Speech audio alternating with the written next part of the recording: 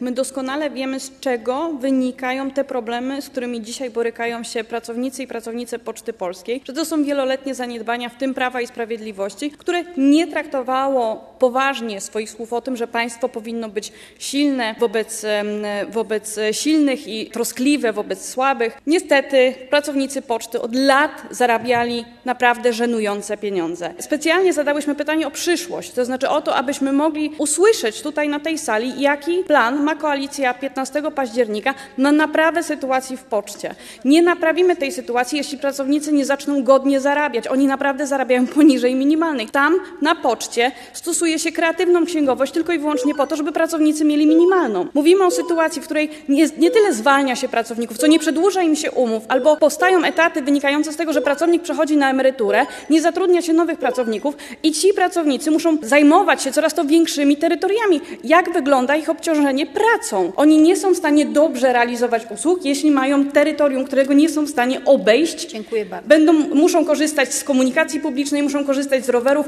muszą korzystać z samochodów. To jest sytuacja absurdalna, dlatego prosimy o informację, w jaki sposób planują Państwo naprawić sytuację na poczcie.